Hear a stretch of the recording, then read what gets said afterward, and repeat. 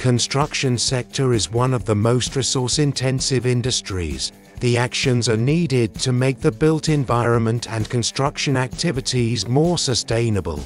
The construction industry is one of the largest exploiters of renewable and non-renewable natural resources. The global construction materials market size is expected to grow from $1.1 trillion to 1,4 million US dollars by 2028 at compound annual growth rate of 4.9% from 2022 to 2028.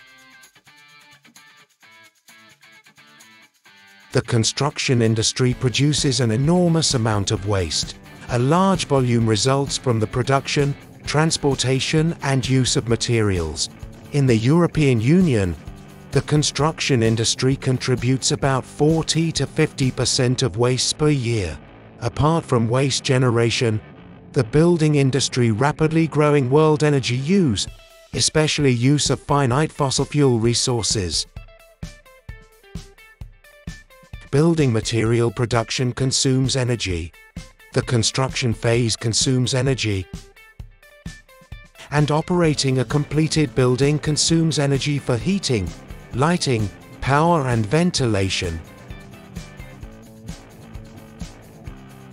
The existing building stock in European countries accounts for over 40% of final energy consumption in the European Union member states. The residential use represents 63% of total energy consumption in the building sector.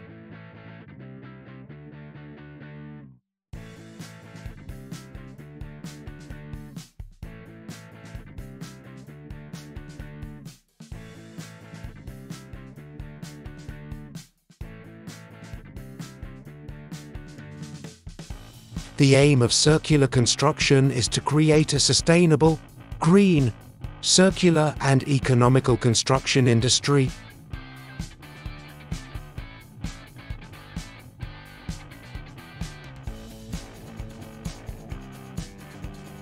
It is important to optimize material flows in construction that minimizes the impact on the environment.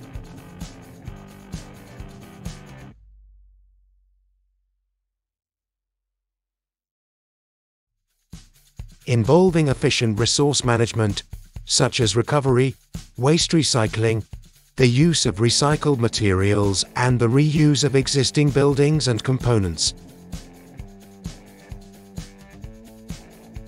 Decarbonization goals estimate that the sector should consider the carbon footprint of building materials and reduce its emission levels. The building and construction sectors account for nearly 40% of global energy-related carbon dioxide emissions in constructing and operating buildings, including the impacts of upstream power generation. Various factors determine a building carbon footprint, but most people are only aware of the energy consumption, which they reduce by switching to renewable alternatives. The contributors to a building carbon footprint include the emissions from the transportation of materials to the construction site and their embodied carbon, who accounts for a significant percentage of global greenhouse gas emissions. Steel, concrete and aluminium are the worst offenders here since their emissions are almost equal to the global greenhouse gas emissions from the building sector operations. The first zero carbon step is to insist on energy efficiency. Occupants consume a lot of energy with their household and office equipment. This rate will only be minimal if there is a switch to renewable energy. There are some strategies contractors can employ to reduce carbon emissions. Refurbish or repurpose existing buildings. Building less. Ensuring that the goal is to meet the community's needs reuse materials or switch to low-carbon options, building efficiently that helps to maximize material use, ensure that the project emits low waste by recycling materials, Embodied energy is a calculation of all the energy that is used to produce a material or product, including mining, manufacture and transport to achieve a home that is truly low energy.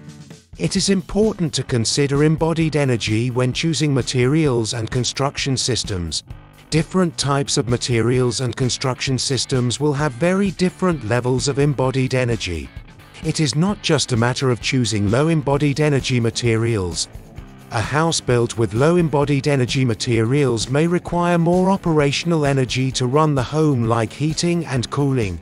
The total embodied energy of a building is the total energy needed for production of all the materials used in the initial construction, production of all the materials used in repairs or renovations over the life of the building, transport of materials to site, and energy used on site during construction, repairs or renovations.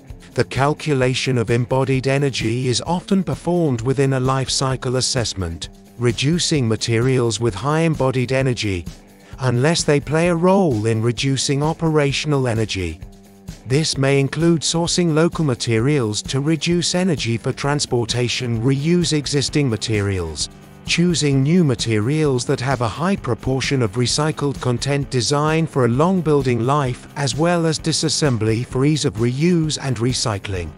The embodied energy is an important environmental issue with the full range of environmental effects associated with building construction.